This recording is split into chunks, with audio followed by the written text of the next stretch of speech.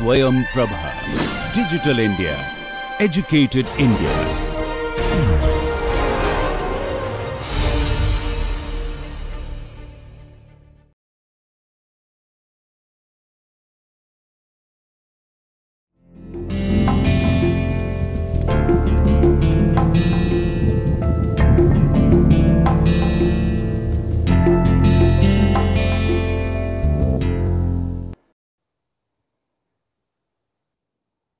Good morning, all of you. I'm Dr. Naresh Mahipal, Senior Assistant Professor from Faculty of Law, University of Delhi. Today, we are going to discuss about the concept of marine insurance. This is our lecture number 8 in uh, the subject insurance law. Previously, we have discussed about the origin of insurance law, the historical development of insurance law, globally as well as in Indian context and we have also discussed about the concept of insurance law, how the insurance law emerges and what is the concept of insurance law. Thereafter, we have also discussed about the principles of insurance laws that what principles govern insurance law while forming a insurance law contract then we have discussed about the formation of life insurance contract.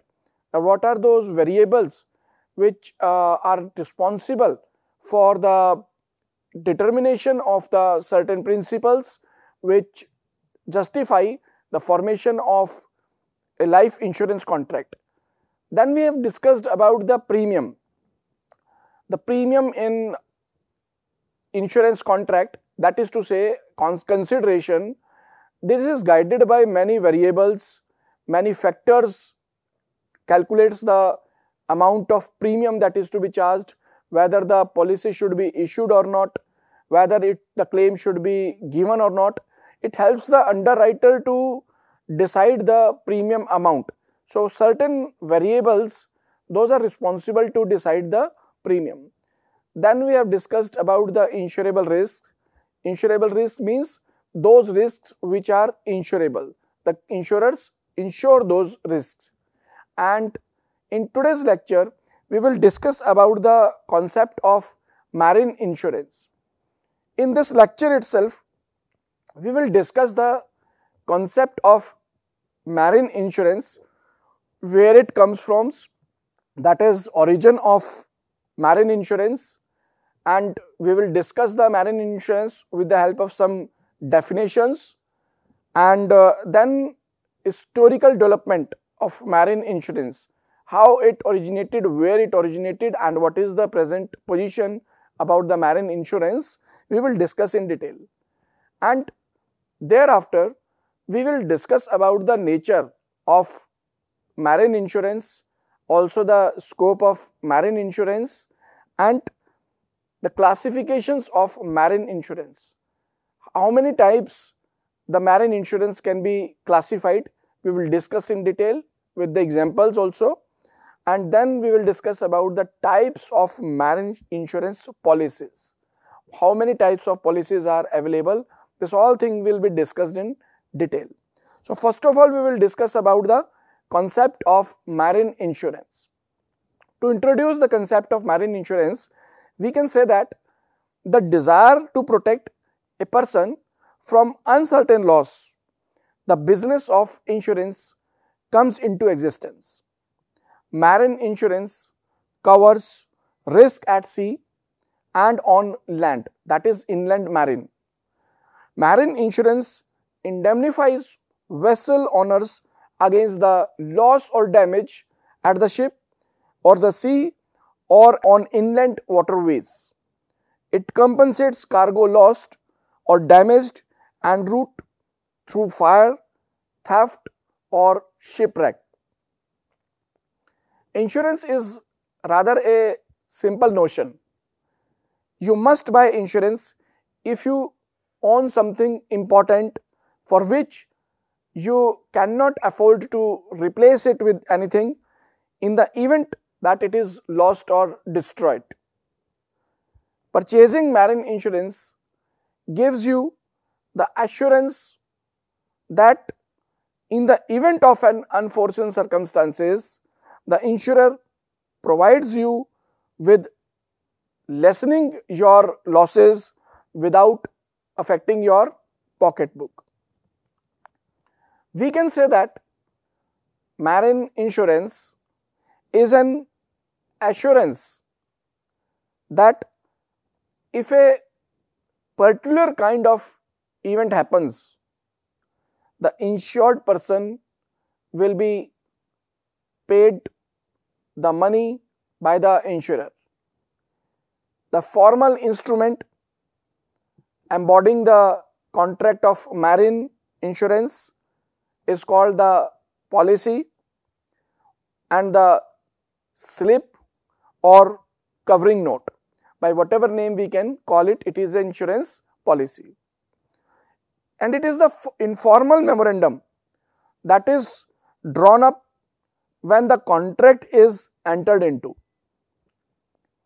The subject matter insured and the consideration for the insurance are respectively known as the interest insured and the premium. The person who is indemnified is known as the assured and the other party who assures is styled as the insurer or the underwriter so called because he subscribes or underwrites the policy. So, after going through these terminologies, we can say that a type of insurance coverage known as marine insurance is intended to guard against risks and hazards that may arise during maritime transit or trips, as well as to safeguard ships, cargoes and other maritime interests.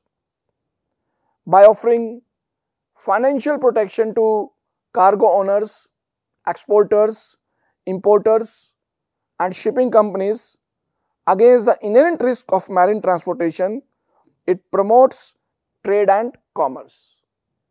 It provides coverage for shipments and boats sailing across the sea in the international water and through many maritime jurisdictions, making it crucial for international trade and transit.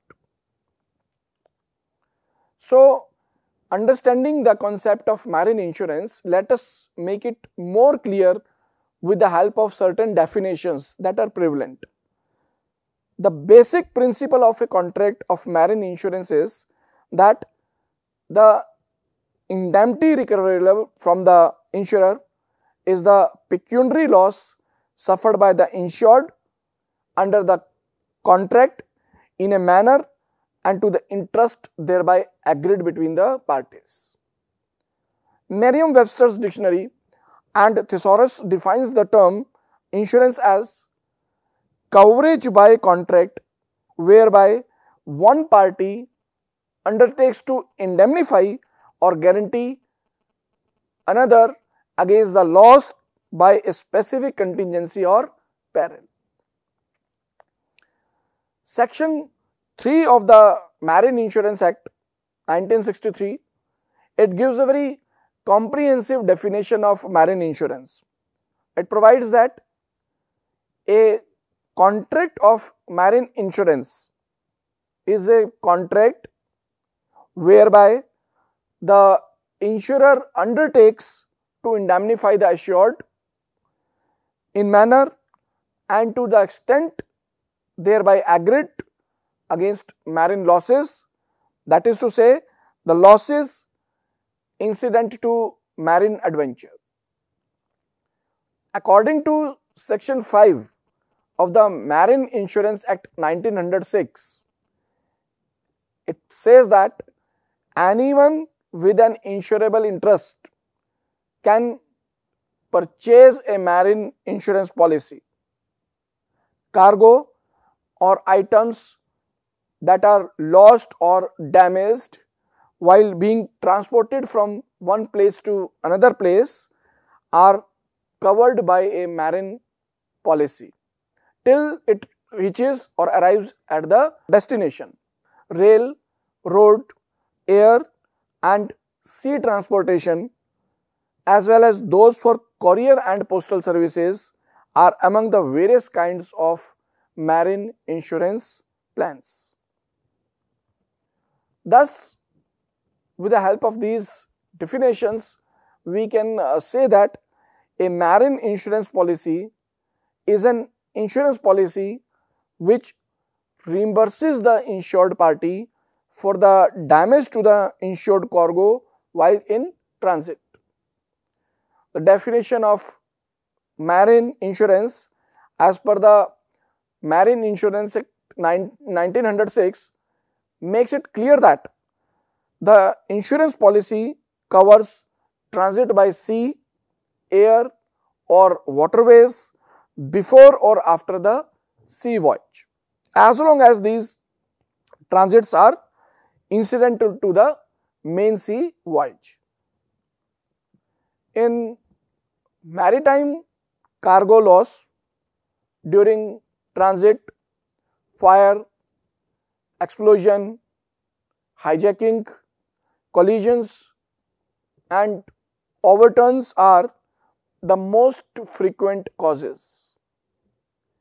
A maritime insurance policy may provide particularly selected plans in addition to covering theft, malicious damage, shortages, non-delivery of products, damages during loading and unloading and mistreatment of cargo.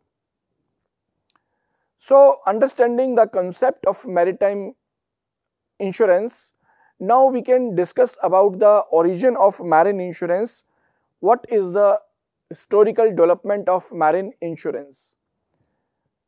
The origin of marine insurance is as old as historical development. The oldest forms of insurance traced are found in the form of bottomry contracts which were practiced by the merchants of Babylon in early as 4000 to 3000 BC. It was also practiced in India by the Hindus during 600 BC. Under a contract of bottomry, loans were granted to the merchants with the provisions that if the shipment was lost or robbed by pirates or got sunk in the deep water, the loan did not have to be repaid. The interest on the loan covered the risk. However, there is no evidence yet that in the present form insurance was practiced in prior to 12th century. As the civilization progressed, insurance cover grew with it. So, while discussing the origin of marine insurance, it is important to discuss the global development of marine insurance, the historical development of marine insurance. Marine insurance as I told you that is the oldest form of insurance.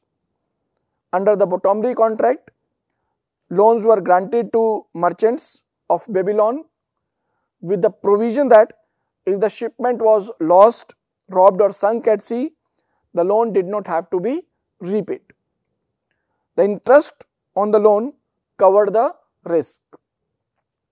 This led to a system of credit and the law of interest was well developed. The contract of insurance was made an essential part of contract of carriage. Marine insurance was imported from the cities of northern Italy where it was practiced at, uh, at the end of about 12th century. It became highly developed in the 15th century. In the year 1556, King Philip II made marine insurance regulations for Spain and in the year 1563, three ships were insured on a voyage from Hawaii to Central America.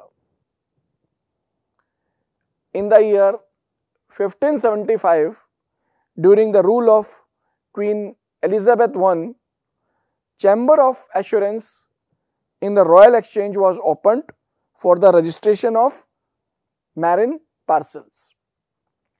Subsequently, an Act of Parliament was passed in 1601 to deal with the disputes arising out of in marine insurance policies.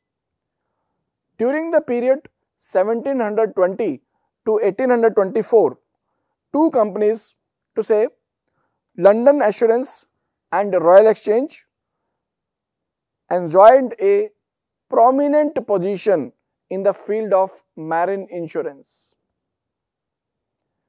It was only during the 18th century that marine insurance was started as a specialized business. In 1906, the Marine Insurance Act was passed under British legacy, creating a standard operating procedure for policies that dictates the world's policy to this day. The market for insurance on a worldwide scale has expanded rapidly in 20th century. So, we can say that credit goes more to the Britishers for creating such procedures for the policies that till date it is dictating the world in marine insurance law. Marine insurance which covers liabilities, cargo and hull hazards is still a crucial part of the worldwide insurance market today. The fact that Lloyds of London, China and the Nordic region are among the top providers of marine hull insurance which shows that how important maritime trade is for us in the contemporary day, in the present era you can see. Specialist maritime insurance providers are essential in offering protection against unusual or difficult hazards that conventional insurers might not be able to offer. These organizations which are frequently independent of insurers support innovation and market liquidity in the marine insurance sector. Through adoption and innovation, marine insurance continues to protect the interests of ship owners, cargo owners and other stakeholders in maritime commerce. Marine cargo insurance provides essential financial protection against the inherent risks of shipping which is crucial in defending the interests of cargo and ship owners in India. Cargo stakeholders may handle the challenge of transit with confidence if they have a comprehensive marine insurance policy in place. Knowing that they are sufficiently insured in the event of unanticipated circumstances. So, getting through the origin and development of marine insurance globally, let us try to discuss how the marine insurance developed in India. In India, the growth of marine insurance has been phenomenal. It has a deep rooted history. It finds mention in the Vedas written by Manu, that is Dharmashastra, and Kautilya, that is Arthashastra. It talks in terms of pooling at the time of natural calamities such as fire, flood, earthquake, droughts, famine and epidemics etc. But as known to the world today, marine insurance has its origin in England. The Britishers opened seven marine insurance companies in Calcutta between 1797 and 1810. So, marine insurance in India flourished during the British legacy period. In India, the law of marine insurance has been put in a statutory form by passing Marine Insurance Act 1963. It was based on the original English law. The preamble of the act states that it is an act to codify the law relating to marine insurance. So, this act was specially codified to discuss the laws related to marine insurance. Prior to the legislation, that is the Marine Insurance Act, questions turning on this branch of law had to be decided by the general law of Indian Contract Act 1872 and the British Marine Insurance Act of 1906.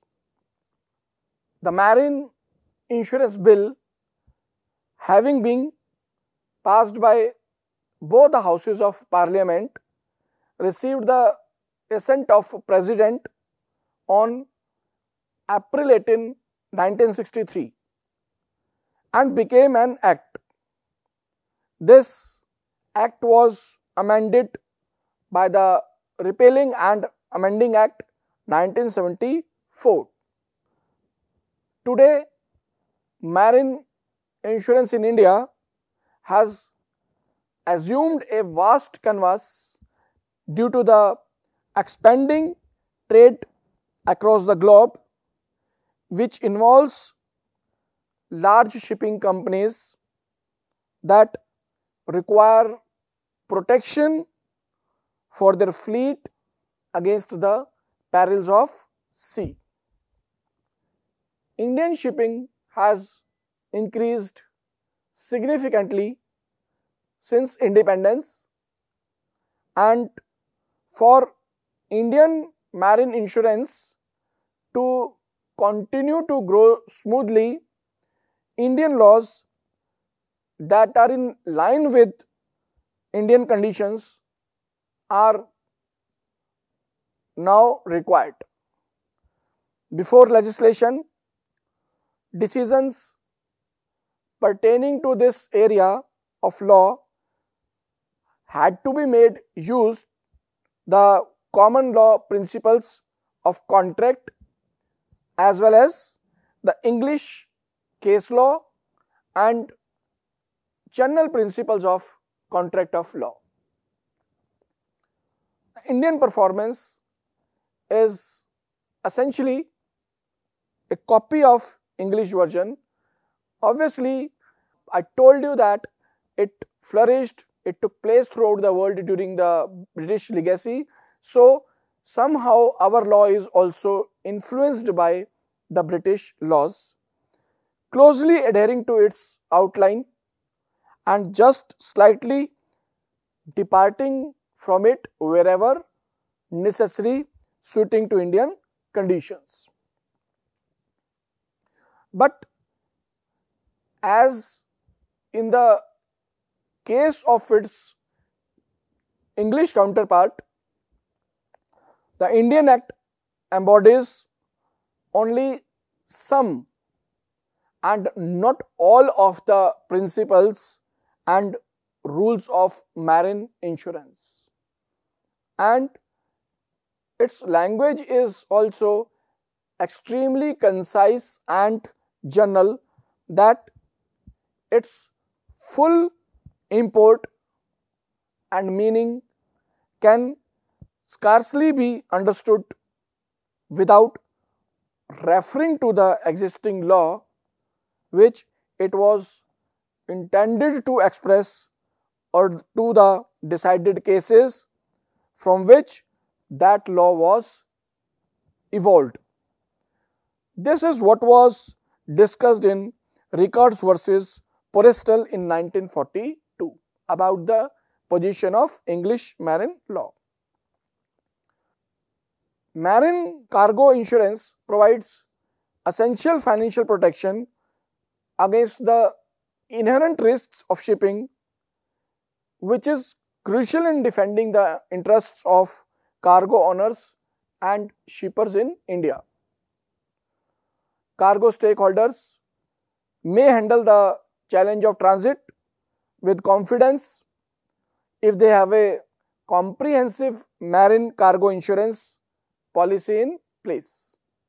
Knowing that they are sufficiently insured in the event of unanticipated circumstances. Now, having all discussed about the origin of the marine insurance and its development in global context as well as in India, we can rightly say that the Indian insurance laws are somewhat resemblance of English laws, but it has departed from certain principles as suits the conditions of Indians. Now, after discussing the historical development, we will discuss the nature and scope of marine insurance.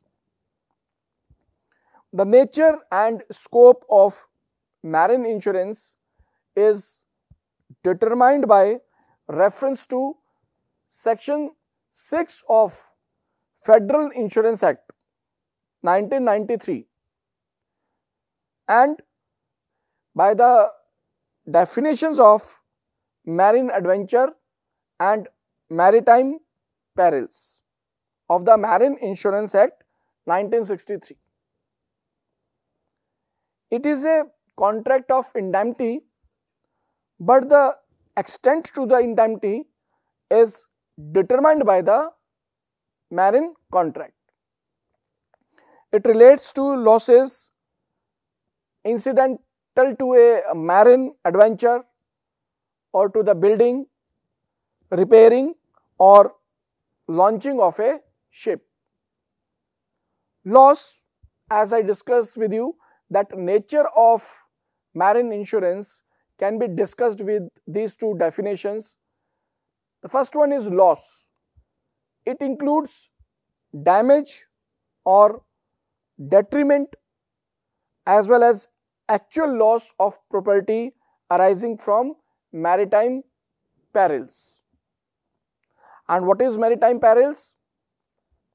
It means that the perils consequent on or incidental to the navigation of the sea. That is to say, perils of the sea, fire, war perils, pirates, rovers, thieves, captures, seizures, restraints and detainments of princes and peoples, jettisons, barratry and any other peril either of the like kind or which may be designated by the policy.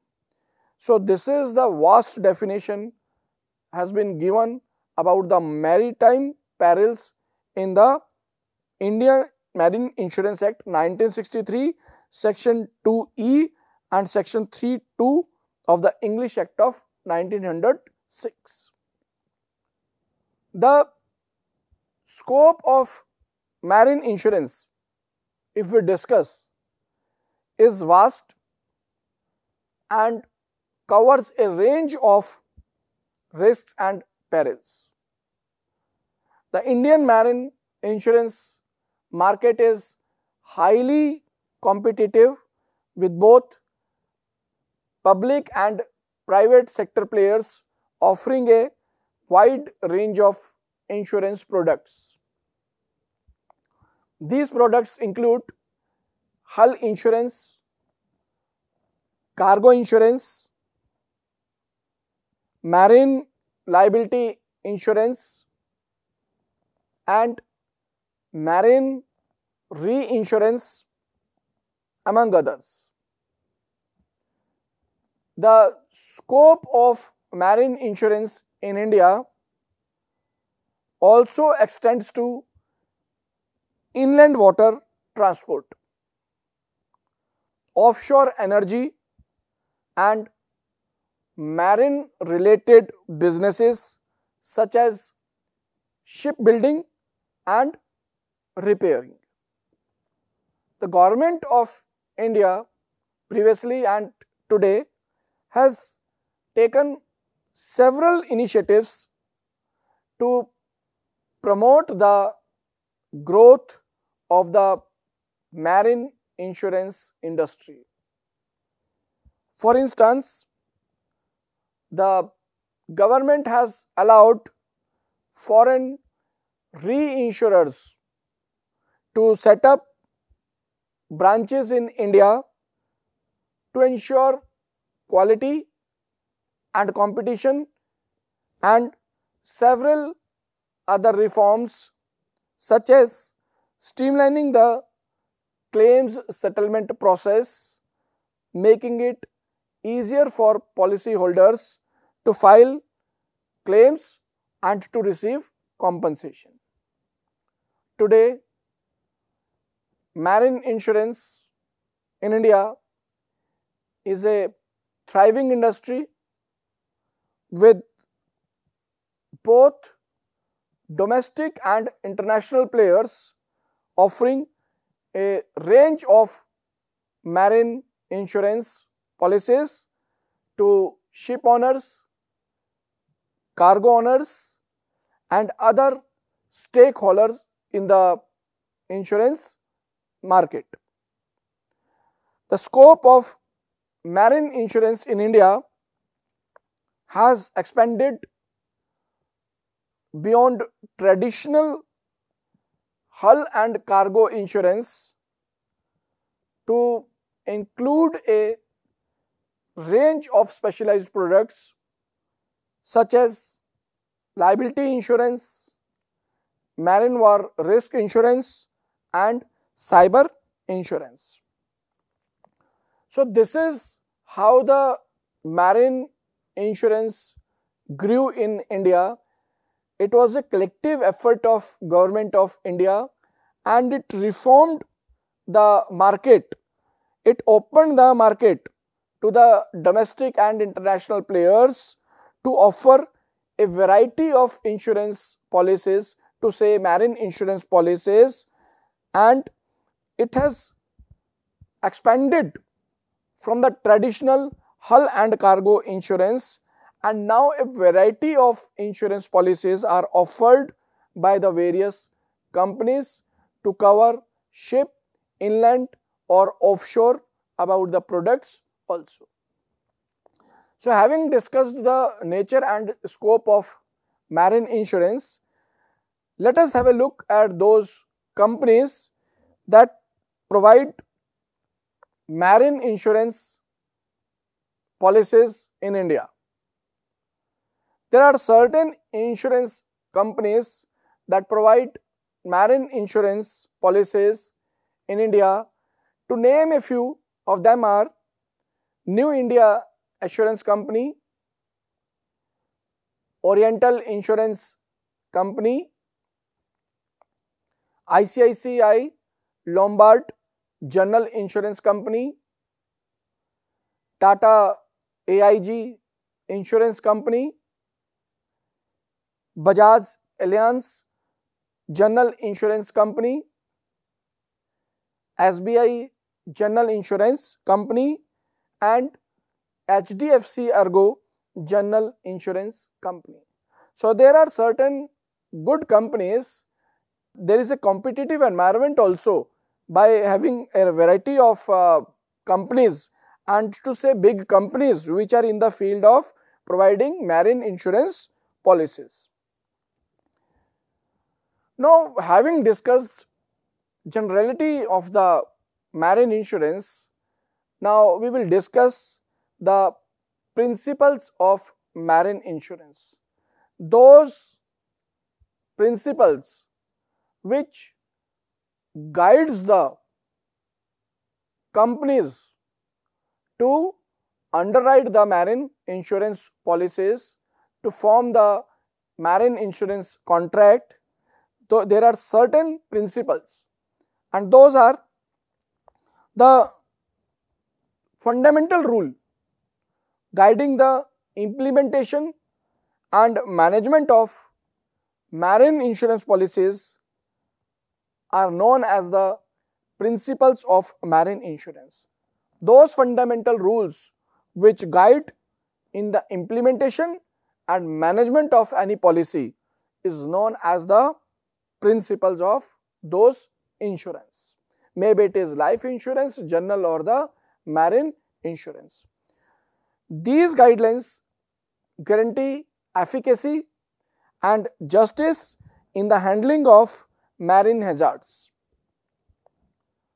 Important principles which we are going to discuss, those fundamental rules or the principles which guides the formation of any insurance policy are number 1 utmost good faith that is principle of Uberrima Fides. A legitimate contract must be formed by the full and accurate disclosure of all pertinent information pertaining to the insured risk as both the insurer and the insured are obligated by an absolute obligation of honesty. It is customary to classify breaches of the duty of utmost good faith under four headings. This is how the good faith is breached. Non-disclosure of the facts, concealment of the facts, innocent misrepresentations. And fraudulent misrepresentations. The first two that is non-disclosure of the facts and concealment of the facts are termed passive breaches. And the other two that is innocent misrepresentation and fraudulent misrepresentation are termed as active breaches. The Marine Insurance Act places a statutory duty on the assured to disclose to the insurer all the material circumstances known to him or which he should know in the ordinary course of his business. It is expected from the insured to disclose all the facts that are within his knowledge, not to conceal and not to obtain the policy through any fraudulent manners. Whether non-disclosure is intentional or inadvertently, the effect is the same and the policy may be avoided. Although deliberate and material non-disclosure would usually amount to fraud and it renders the policy void. So, if any fraud has been committed while getting the insurance policy, it is void ab initio and there is no chances of getting it voidable. Overvaluation, to take an example, overvaluation must be communicated to the insurers. If it is not so communicated, it is a concealment of a material fact and it voids the insurance. Second important marine insurance principle is insurable interest. The cargo or insured property must be subject to a valid financial interest held by the insured. The insurance contract is void without insurable interest. Whereas in fire and accident insurance, an insurable interest must exist both at the beginning of the contract, at the inception of the contract and at the time of the loss. The interest in respect of a marine contract must exist at the time of loss though it may not have existed at the time when the insurance was affected. This is necessary when one considers the mercantile practice under which there is every possibility of sale and purchase of goods during the transit. If the assured has no interest at the time of loss, he cannot acquire interest subsequently by an act or election after he is aware of the loss. Arising from this, both a contingent and defeasible interest are insurable. A partial interest is also insurable. Third marine insurance principle is indemnity. The purpose of marine insurance is to indemnify the insured financially also known as indemnity in the event of a covered loss or damage. Without permitting profit, the payout seeks to return the insured to their pre-loss financial situations. So again, indemnity is very important principle to determine which guides the formation of any marine insurance policy. Fourth principle is proximate cause.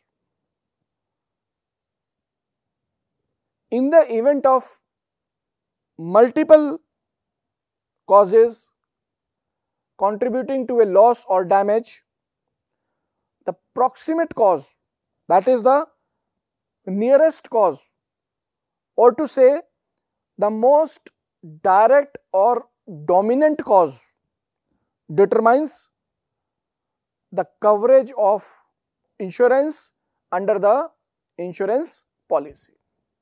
Insurers are liable if an insured peril is the proximate cause of the loss. If an insured peril is only the remote cause of the loss, the proximate cause being an uninsured or expected peril, the insurers are not liable. The proximate cause is not necessarily that which is proximate in time, but which is proximate in efficiency. It is the dominant, effective and operative cause of the loss. Another principle is subrogation. The insurer may take up the insured's right to sue other parties for the loss after paying the insured. The insurer is unable to recover the amount of the paid claim amount. The right of subrogation is necessary incident of a contract of indemnity and broadly speaking the insurer in the absence of any special contract must exercise all remedies arising from subrogation in the name of the assured. In marine insurance, where an insurer pays for a total loss, he is entitled to take over the interest of the assured in whatever may remain to the subject matter so paid for that is called the abandonment. And he is subrogated to all the rights and remedies of the assured as from the time of the loss that is subrogation. Where an insurer pays for a partial loss, he acquires no title to the subject matter insured or to such party of it as it may remain, but he is subrogated to all the rights and remedies of the assured as from the time of the loss and in so far as the assured has been indemnified. In marine insurance, subrogation applies only after the payment of a loss. The insurer is entitled to recover only up to the amount which he has paid in respect of rights and remedies. An underwriter is entitled only to the rights of the assured in respect of the subject matter insured insofar as he has indemnified the assured. Now, the sixth principle of marine insurance policy is contribution. The idea of contribution is applicable when a risk is covered by more than one insurance policy. According to the terms and limitations of their individual policies, each insurer contributes a proportionate amount to the claims expenses. As a contribution among insurers, section 80 of the act, it provides that where the assured is overinsured by double insurance, each insurer is bound as between himself and the other insurers to contribute ratably to the loss in proportion to the amount for which he is liable under his contract. If any insurer pays more than his proportion of the loss, he is entitled to maintain an action for contribution against the other insurers and is entitled to the like remedies as a surety who has paid more than his proportion of the debt. So, the condition is that as per Halsbury law, each policy must be in force at the time of loss. There is no contribution if one of the policies has already become void or the risk under it has not yet attached. The insurer from whom contribution is claimed can repudiate liability under his policy on the ground that the assured has broken a condition. And the next is contribution. The idea of contribution is applicable when a risk is covered by more than one insurance policy. So, having discussed these principles, let us see the classifications of marine insurance. There are four types of marine insurance. Number one, hull insurance. It covers the insurance of the vessel and its machinery that is furniture and fittings, machinery, tools, fuels, etc. It is effected generally by the owner of the ship. And second is cargo insurance. It includes the cargo or goods contained in the ship and the personal belongings of the crew and the passengers. Third type of, third classification of the marine insurance policy is freight insurance. It provides protection against the loss of freight. In many cases, owner of goods are bound to pay freights under the terms of the contract only when the goods are safely delivered at the port of destination. And the fourth classification is liability insurance. It is one in which the insurer undertakes to indemnify against the loss which the insured may suffer on account of liability to a third party caused by collision of the ship and other similar hazards. So, having discussed the classification of marine insurance, let us see what are the types of insurance policies that are prevalent in the market. Number one, voyage and time policy. A voyage policy is that kind of marine insurance policy which is valid for a particular voyage irrespective of the time involved in it. Second is mixed policy. Marine insurance policy which offers the client a benefit of both time and voyage. Policy is recognized as a mixed policy.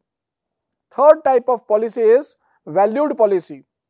In this type of policy, the value of cargo and consignment is ascertained and is mentioned in the policy document beforehand, thus making clear about the value of the reimbursement in case of any loss to the cargo and consignment. Fourth one is unvalued policy. In this type of marine insurance policy, the value of the cargo and consignment is not put down in the policy beforehand. Fifth one, port risk policy. This kind of policy is taken out in order to ensure the safety of the ship while it is stationed in the port. And sixth is wagering policy. It is one where there are no fixed terms of reimbursements mentioned above. In the insurance company founds the damages worth the claim, then the reimbursements are provided else there is no compensation offered. Seventh one is floating policies. It means marine policy where only the amount of claim is specified and all other details are omitted till the time the ship embarks on its journey is known as floating policy. So, what is the importance of marine insurance, why it should be taken? For most businesses, business items are their main source of income. Protecting them from any unfortunate event during transit contributes to the stability of the company's finances. It is impossible to overestimate the significance of this policy. There are few more other points which emphasize the significance of marine insurance that is protection against loss, compliance with legal requirements, risk management, facilitation of international trade, encouragement of investment and after going through this, let us see what the marine insurance covers. It covers total loss protection, sinking, fire, explosion, earthquakes, strikes, administrative costs, cargo loss during loading, unloading, dumping or washing, natural disasters, accident, collisions, etc. What it does not cover? Insured committed a willful act if there is a liquid leakage, weight loss or volume loss, if the packing is inadequate or unsuitable, or if there is a delay of goods, if the owners, managers, creditors or operators of the vessel defaults on their financial obligations, etc. So, who needs marine insurance? For a wide range of people such as ship owners, freight forwarders, businesses and individuals shipping goods overseas, shipbuilders and repairers, port authorities and terminal operators, marine contractors, charterers, this all needs the marine insurance. So, there are certain documents for the marine insurance claim in case of loss if the insured wants to claim there are certain documents. First of all he should inform the insurer at the earliest possible time and certain documents are required to be submitted. That is to say number 1 original copy of the insurance policy certificate. Secondly survey report. Thirdly invoice. Then bill of lading, claim bill, copy of protest, letter of subrogation, bill of entry, dock receipt. So, these all documents are required to claim the marine insurance benefits. So, in the nutshell, we can say that marine insurance emerged during the British legacy. Now, the Indian laws are also self-sufficient, but those are in the lights of the marine insurance.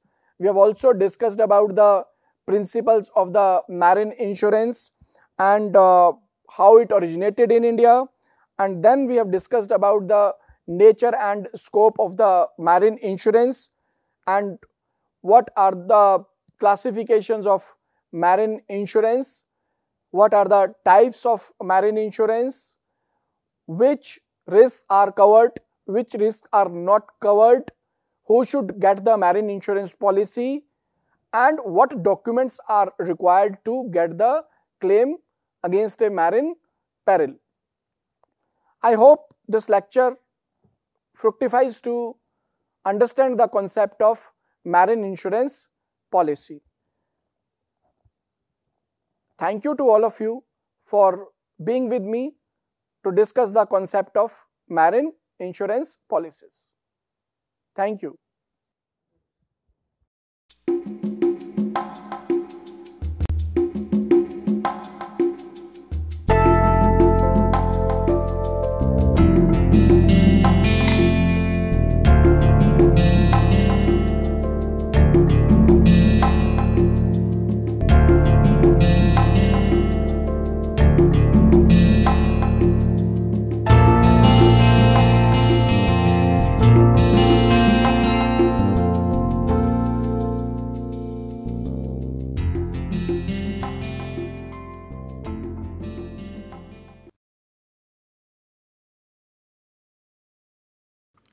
Hello and welcome to this piece of literary snippet.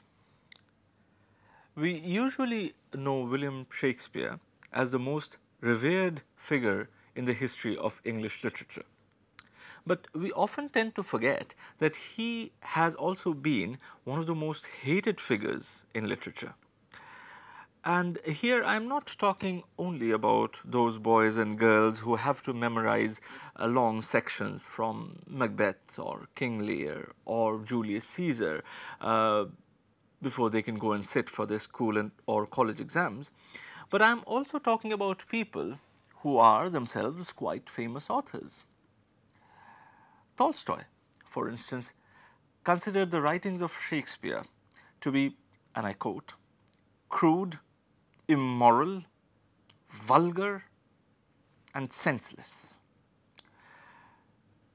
George Bernard Shaw absolutely loathed Shakespeare, as he did Homer.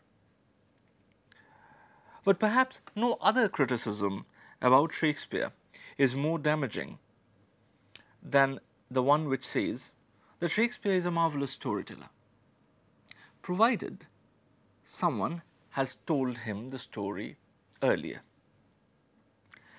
Now, this piece of criticism is particularly damaging because it is true. None of Shakespeare's plays contain any original story whatsoever. They are all written using pre-existing materials, pre-existing stories. Now, does that diminish the stature of Shakespeare as a dramatist? Well, I'll leave that for you to decide. See you in the next episode of Literary Snippets.